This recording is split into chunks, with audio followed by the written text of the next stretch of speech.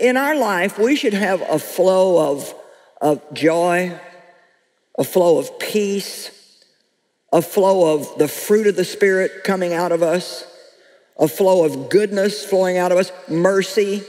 We should have a flow of good things in our life. And when the right things are bubbling up in us and flowing out of us, we not only enjoy our lives, but we're able to be a blessing to other people. So I guess I want to ask you today what is flowing out of you? I'll ask myself. What is flowing out of you, Joyce? Well, sometimes good stuff, and some days we just get a little spurt, and I'd like to fix that. Amen? What flows out of you is more important than what comes to you. We get way too concerned about what we're getting in life or what we're not getting or not having a bad circumstance.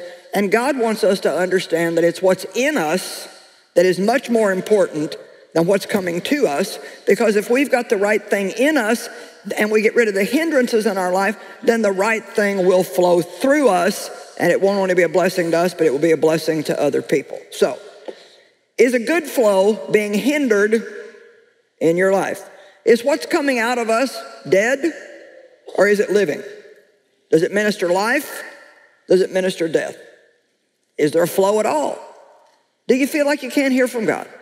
You feel like you can't sense God's presence? There's no joy. There's no peace. Nothing seems to be working. Everything is a struggle.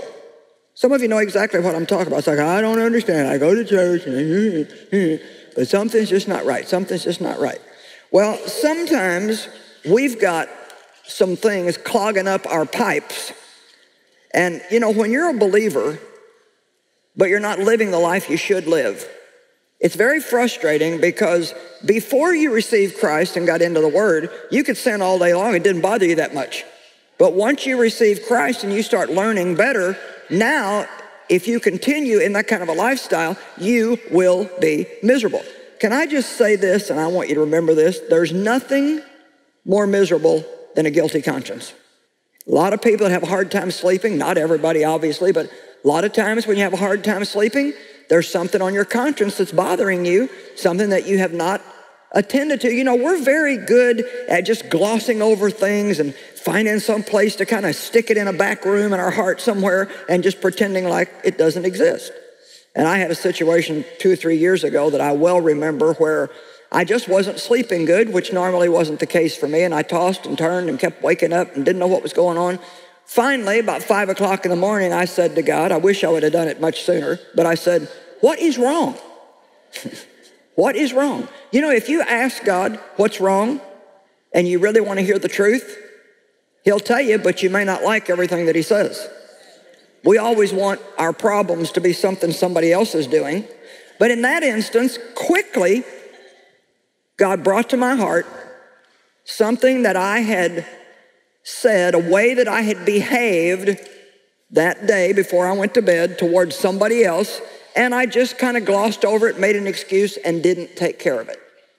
See, we should be smart enough to know that if we hurt somebody's feelings, we should say, I'm sorry. If we act rude, we should say, I'm sorry.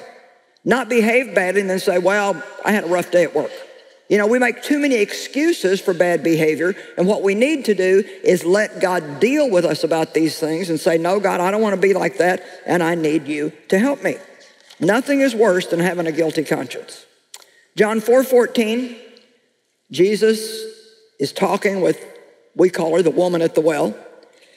And he says, Whoever takes a drink of the water that I will give him shall never, no, never be thirsty anymore. But the water that I give him shall become a spring of water welling up, flowing, bubbling continually with him unto eternal life. I want you to just try to get a picture of that. What, how good is life? When we've got, we just feel like life is bubbling us up in us and there's joy just bubbling up in us. And you know, I, I lived too many years where I'd get up in the morning and couldn't wait to go to bed and then go to bed at night and couldn't wait to get up. You know, I wasn't ever really satisfied with anything. And man, it became so important to me when I finally got a hold of John 10 10 and realized that Jesus didn't just die for me so I could someday in the sweet by and by go to heaven, but he died so we could have and enjoy our life and have it in abundance to the full until it overflows. And enjoying life does not mean that I'm going to get everything I want or that I'm going to live on vacation, I'm going to have the perfect people in my life. Enjoying life means that there's a place in Christ that we can come to, a place of spiritual maturity where although we may not like our circumstances, nobody likes difficult circumstances, we still can find a place where we can be happy and joyful no matter what is going on in our life. And isn't that really what we want? Paul talked about it when he said, My determined purpose is to know him and the power of his resurrection that lifts me out from among the dead even while I'm in the body. That's exactly what we're talking about here today. He said, There's a place that we can come to in Christ where with all the deadness around us and all the trouble and all the bad circumstances and the grouchy people and the high finances and all the things that are going on, where in Him we can be lifted above that in a resurrection life. You know, the Bible says in Isaiah 40 that when we wait on God, we will mount up with wings like eagles who mount up close to the sun. Well, if you've never really looked any further than just reading that scripture, you may not really understand the total beauty of it. But an eagle has an ability to fly so high, they're not afraid of the storms of life. They actually have tunnel vision and they can see miles and miles away when a storm is coming.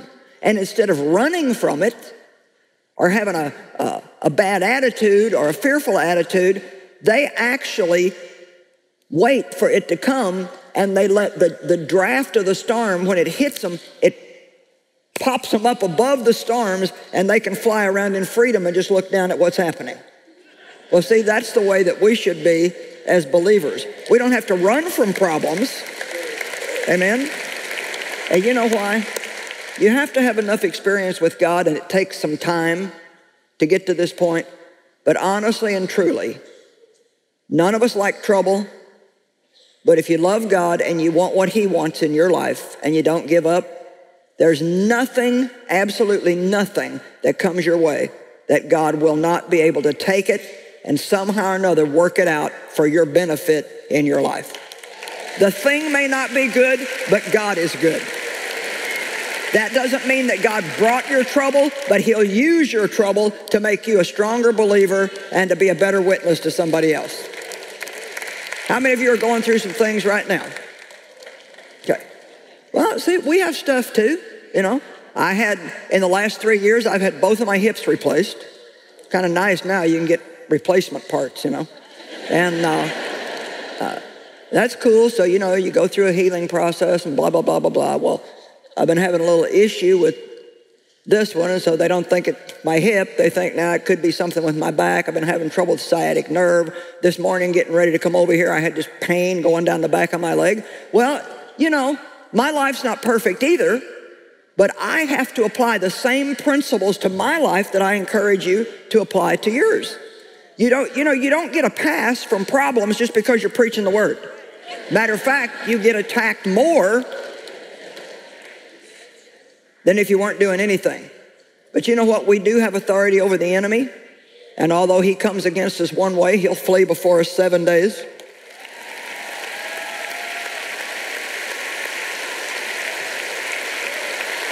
Romans 8, right in the midst of all of these things, we are more than conquerors. You know what it means to be more than a conqueror? I believe it means that before your problem starts, you already know that whatever comes your way, you will ultimately have the victory. Amen? Okay. So I want to ask again what's flowing out of you? Now, interesting thing. The Philistines who are the enemies of the children of God.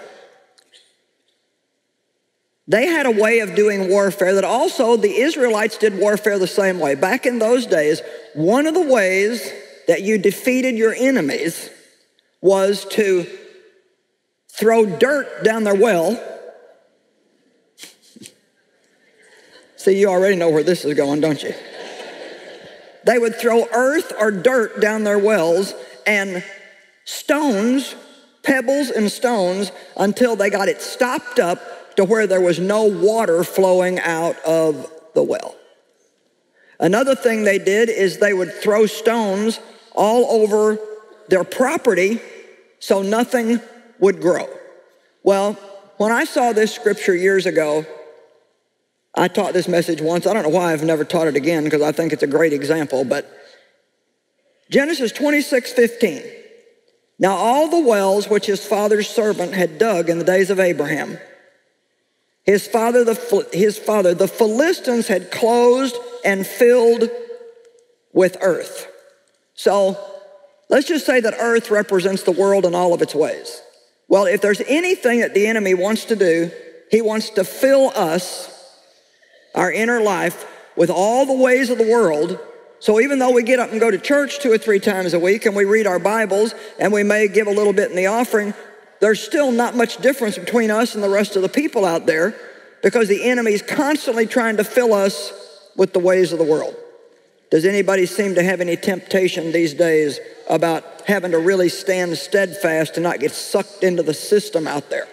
And you know, many times, even as a believer, if you're going to really take a firm stand against ungodliness and against sin, you may have to be willing to stand alone a great deal of the time.